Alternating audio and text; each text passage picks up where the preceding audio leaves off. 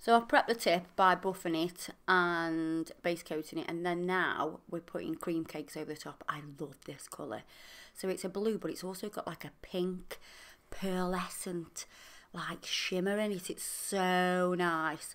And for this design, because it's an Easter bunny, Easter design, I feel like we need mini eggs. We should be eating mini eggs. Oh, I had some mini eggs last night on the way down here. Oh. Just a little packet though, because why don't they make diet chocolate?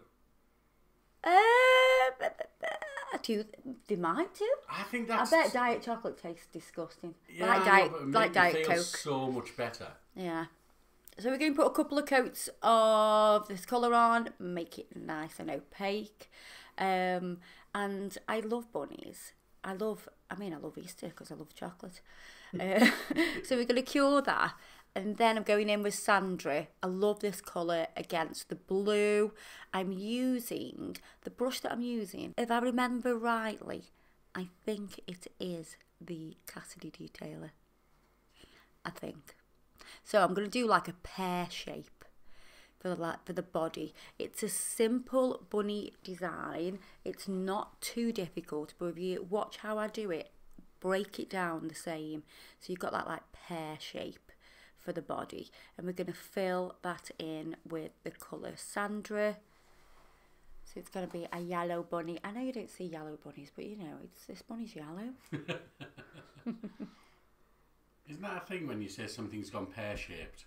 Yes. It's gone bad, doesn't it? Yeah, yeah. Hopefully this doesn't go bad. um, and then I'm gonna basically draw out the shape of the bunny. This is the head. And you'll so if you break it down just like I have done, so do the pear shape first, and then we can start doing the head. And what I'm doing at the minute is what for this image. What I did was, and this is a really good idea, especially if you uh, stuck for ideas. Go on to Google, Google your sort of theme. So I put Easter bunnies, but I put Easter bunny illustrations. So I didn't like do didn't Google Easter bunny nails or anything like that. Google an art form and you'll come up with different ideas and then you can put your twist on it and it'll get the creative juices in the brain going. The cogs will start to tick. So I've done his ears and he's already starting to look like a bunny.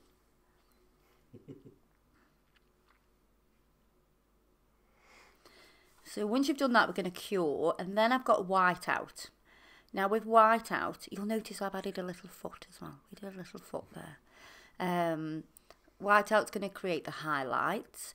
Um, we'll put them on the ears and we'll go around um, different parts of the body just to enhance. So, you know, I was looking at an illustration, so it's a similar kind of look. So it's not, it's this isn't like some realism kind of design. It's all quite simple, but the highlights make all the difference. What do you when you're looking at highlights and shadows? Do you have a preferred area for where your light's coming, a preferred direction from where your light's coming? It depends. So this figure is facing to the right. Mm-hmm. Yeah, So your light's coming from the right. light's coming from the right. Okay. Yeah. Do you like visualize a light there? I don't know. I I think it's a good idea to do that though. I think because I've done I've done it for so long, I just get used to it. Yeah. You just I don't know. Yeah, it's just automatics to you. Yeah, yeah. So yeah, so imagine he's facing. Imagine what whatever it is that you're painting is facing to the light. That'll help you. So I'm doing a little Easter egg. This is not his tail. That would be a big tail. so no, it's an actual Easter egg. And then we're going to take Paddy and we're going to do some more Easter eggs. Obviously, the design for this was inspired by Easter. And I hope you all have an amazing Easter. I hope you eat loads of chocolate. I used to like going to Thornton's, which is a chocolate place um, that does really nice Easter eggs and you can have them personalised and all that. I used to love going there and getting the kids personalised Easter eggs, whereas now they just want money. you know, just put like money in the Easter eggs and then still hide them and make them go run around. Yeah. Um, before COVID, also the kids were a bit younger then. We used to always go to my brother's house. So my brother lives in um, Great Malvern, and we used to go to church and for for Easter, and we'd we'd have like a little craft thing in the morning as well. So we'd have breakfast there. We'd have Easter breakfast at church, and we would also do craft. So we'd make like loads of crazy eggs. We did an egg roll thing where you. Mm you make your egg and then you roll it down the bank and we see who wins. The kids used to absolutely love it. And I know about most of you are going, Kirsty went to church, whatever. yeah, I went to church. You mean you didn't burst into flames as you walked through the door? I didn't actually, no. But I'll tell you what, the breakfast was banging. and I tell you what, it was all for free.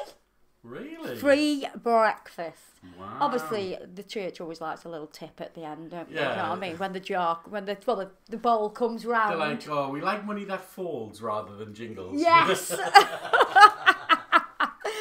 so I'm taking the um the colour void, which is our black, and look how fine you can get that colour, and you still have loads of pigment.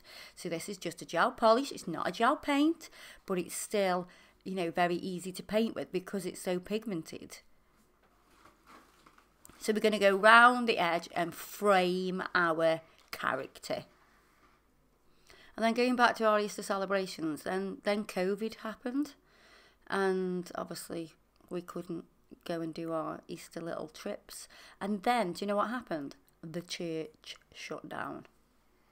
A church shut down. Yeah, I don't know why, but the church shut down, and that was it. That was our Easter thing gone. Gotta say, every now and again, there's like churches do pop up on like Rightmove and stuff like that, and, Oh, and they've been and they've been done out, and Yeah. it's like, oh my god, they're they gorgeous. do look amazing, but at don't the they? same time, I'd be a little bit like, I always feel like in a church somebody's died here.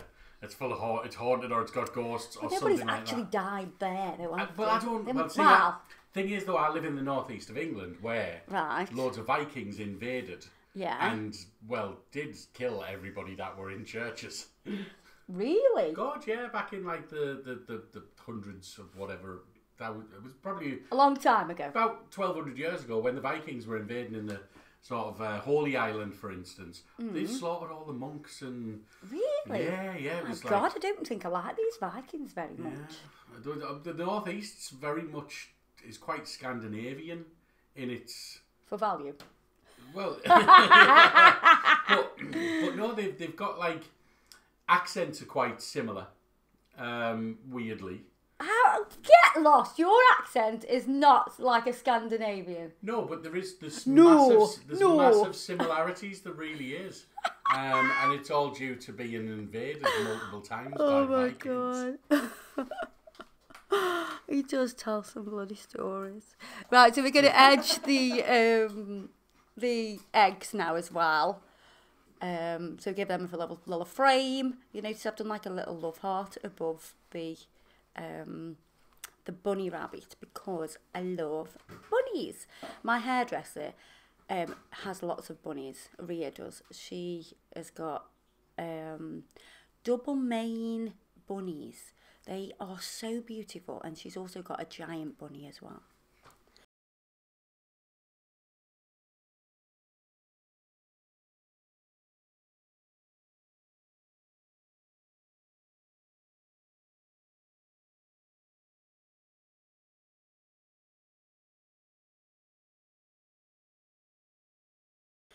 So top coat to seal in. And because the nail is quite a long nail, I'm starting at the bottom. And then when I pull through with my top coat, I'm, I don't run out of product. That way you get a smooth application. I wish you could see me now because I'm actually talking with my hands. the smooth application is being demonstrated by the hands. Whenever you see me doing something like that with the brush, it's probably because there's a bit of fluff there. And yeah, there I am, getting that bit of fluff off. Why do I just think the world should not have fuzzies? There should be like some kind of filter constantly going. Then we're going to use Bella. Now, Bella is absolutely gorgeous. Bella is a top coat, but this is the matte version. So this is a matte top coat and it's got those little speckles in. So they're just like mini eggs. we definitely need mini eggs. You're just going to put them on the eggs because mini eggs are matte. They're not glossy, are they? Oh yeah, they are. Yeah, Yeah, they're course. matte. So I thought we'll put Bella on the top and it'll just give that gorgeous finish. Now Bella does come in matte and glossy. So it's, you know, very versatile. My mini eggs don't really last that long to actually ah. see whether they're matte or gloss. Really, Because they get crushed just up hand straight, straight in the bag and then straight in the mouth. I don't really look at them. And then what I wanted to do was some other nails that kind of complemented the design.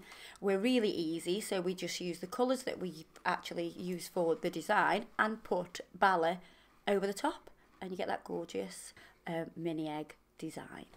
So there you are, guys. Thanks for watching um, and enjoying our snow day videos. This is what happens when it snows. We still work. Um, lots of other people that um, have snow days actually stay at home and don't work. But no, we find a way to bring you content and I hope you've enjoyed it.